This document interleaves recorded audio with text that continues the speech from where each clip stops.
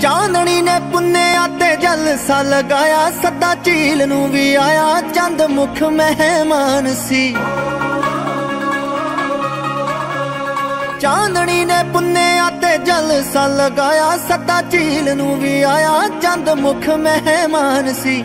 ਰਿਸ਼ਮਾ ਨੇ ਰਿਸ਼ਮਾ ਨੇ ਉਹ ਰਿਸ਼ਮਾ ਨੇ ਦੂਧਿਆ ਜੈ ਪਾਈ ਸੀ, ਪੋਸ਼ਾਕ ਮਾਰੀ ਤਾਰਿਆਂ ਨੂੰ ਹਾਕ ਉਹ ਤਾਂ ਹੋ ਰਹੀ ਜਹਾਨ ਸੀ। ਚਾਂਦਣੀ पुनिया ते जलसा लगाया।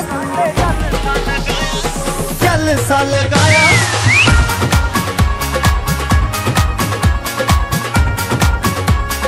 जलसा लगाया।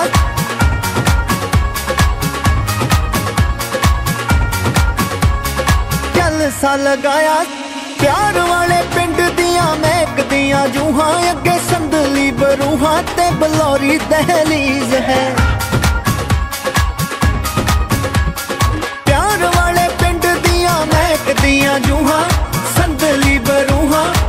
ਬਲੌਰੀ ਦਹਲੀਜ਼ ਹੈ। ਦਿਲਾਂ ਵਾਲੇ ਕਮਰੇ ਚ ਨੂਰ ਹੋਵੇਗਾ, ਜੀ ਹਾਂ ਜ਼ਰੂਰ ਹੋਵੇਗਾ ਕਿ ਇਸ਼ਕ ਰੋਸ਼ਨੀ